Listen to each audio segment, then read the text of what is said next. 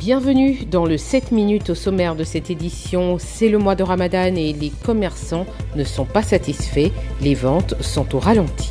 Toujours concernant le Ramadan, les moulins sont très prisés, mais attention. Et à Gagnoa, les cris du silence a été présenté. Le mois sacré de Ramadan est une période spirituelle et de piété pour des millions de musulmans dans le monde. Mais pour certains commerçants, c'est aussi une période de défis commerciaux uniques. Cette année-là, ça ne bouge pas d'abord. Souvent, si on rentre dans 20, 22, 23, 15, on commence à faire les achats. Mais cette année, on n'a rien vu d'abord. Et même ils disent que dans le temps là, que c'est un peu bizarre. Mais ils vont voir avec le temps. Malgré cette vache maigre, certains fidèles musulmans, eux, aspirent à améliorer leur marche avec Allah en s'offrant des accessoires de prière. Je suis venue payer ce chapelet-là pour le zik. C'est un chapelet électronique. Je ça pour faciliter le zik. Chez nous, les musulmans, là, c'est ziko. Quand tu fais, tu fais, tu dis les trucs, les invocations, tu dis, tu dis, et puis tu demandes pardon à Dieu. Quand tu fais ça, là, Dieu pardonne à tous tes péchés. Il y a tous les trucs. Alors que les fidèles se tournent vers la prière et la réflexion pendant le ramadan, les vendeurs de gadgets et d'accessoires continuent de naviguer dans les eaux turbulentes de leur commerce dans l'espoir de voir la lumière au bout du tunnel avant la fin de ce moment de pénitence.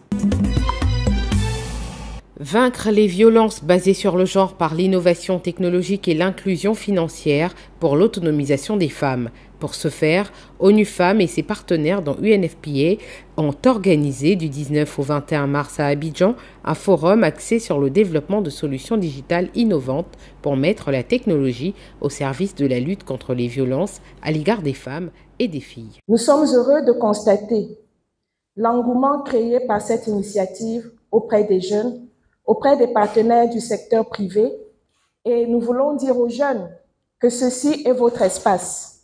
Ce forum est votre espace, un espace de dialogue, un espace d'échange, un espace d'échange d'idées et d'expériences, mais surtout de solutions innovantes pour qu'ensemble, comme je l'ai dit au début, nous puissions, à l'instar des champions d'Afrique, donner un coup de marteau aux violences en ligne. Le c'est de protéger les filles, de faire en sorte que la réponse sur les questions de violences basées sur le genre tienne compte de l'inclusion du numérique. Ça veut dire à travers le numérique, on peut combattre efficacement la violence basée sur le genre, comme à travers le numérique, on peut être victime de la violence en ligne, on peut être victime des cyberagresseurs, on peut être victime des cyber souffrant, comme on l'a dit tout à l'heure. Au cours de l'événement, il a surtout été question de la mobilisation des ressources financières et techniques pour soutenir les initiatives visant à améliorer la vie des femmes et des filles. L'appel que nous pouvons lancer ce matin, c'est de dire à toutes ces dames entrepreneurs qui ont décidé déjà d'entreprendre, de se former, de se formaliser, de se structurer afin d'avoir accès au financement. Et comme je le disais tout à l'heure dans la salle, euh, il y a des fonds qui sont à la disposition, des fonds que nous avons mis à la disposition euh, des entrepreneurs féminins. Et c'est chaque année qu'on mettait des fonds de de plus de 10, de 10 milliards à la disposition des, des, entrepreneurs féminins. Ce forum aura permis de créer de nouvelles synergies entre les différentes parties prenantes, gouvernement, organisations de la société civile, entreprises privées et les jeunes autour de la lutte contre les violences basées sur le genre qui a été inscrite au rang des axes prioritaires du plan national de développement. Cuvette remplie de pâtes de haricots, Drissa Kamagaté répète ses gestes depuis maintenant 5 ans. Cette activité lui rapporte une clientèle abondante, surtout durant le mois de Ramadan. Le travail que vous voyez, ça c'est le moulin. Donc c'est notre carrière, le Ramadan. Quand ça arrive comme ça, il n'y a plus de temps. Il n'y a plus de temps. Souvent, nous-mêmes, on, se lève. Quand on finit de manger à 4 heures, on sort, on vient, on vient. Il y a les clients qui nous attendent déjà. Donc ça fait que bon, ça fatigue, mais il y a l'argent dedans. C'est notre aide. Ça donne beaucoup même. Surtout, bon, il y a les nyamakou, il y a les trucs, il y a les gemmes, il y a les bissables, il y a tout, les matériels, donc on vend tout. Si l'activité semble rentable pour le commerçant, est-elle bénéfique pour les clients? Le volet hygiène semble être négligé. C'est dans cet environnement insalubre entre mouches, eau sale et outils impropres qu'est menée cette activité. Pour Valentin Zawi, sociologue, les clients devraient être les garants de leur bien-être. Un endroit où les mesures d'hygiène minimales ne sont pas euh, prises en considération, il est évident que les populations sont exposées. Il appartient aux personnes qui vont dans cet endroit d'être un peu plus exigeantes. Voilà, je vous apporte de l'argent, je viens ou des aliments, il faudrait qu'il y ait quand même un minimum d'hygiène. Donc ça, c'est ce qu'on peut dire. Parce que comme je l'ai dit, après, c'est une question de pouvoir d'achat. C'est pas tout le monde qui peut forcément acquérir un mixeur.